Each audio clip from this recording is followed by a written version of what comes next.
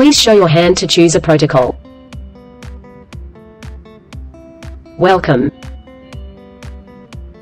Our hands have the power to heal or harm. The outcome depends on how we choose to use them. A patient is in contact precautions, requiring you to wear gloves and a gown when interacting with the patient.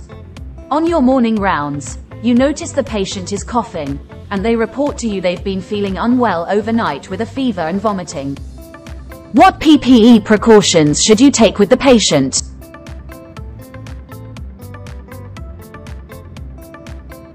Correct. Perform hand hygiene.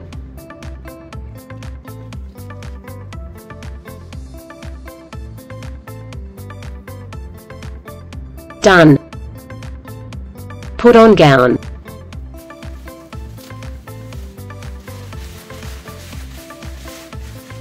Ensure neck and sides are secured. The neck of your gown seems loose. Turn around and please wait, I will check the back of your gown. Checking back of gown. Gown open at back. Please face the screen again and review the back of your gown. Turn around and please wait, I will check the back of your gown. Checking back of gown. Please face the screen again and review the back of your gown. Done. Put on your mask.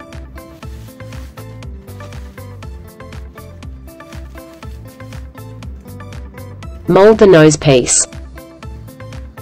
Base of mask under chin. Done. Put on gloves.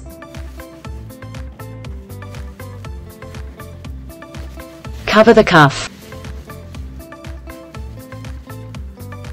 Show your hands upright when done. Checking wrists. Your left wrist doesn't seem covered. Your right wrist doesn't seem covered. Done. You're all set. Thank you.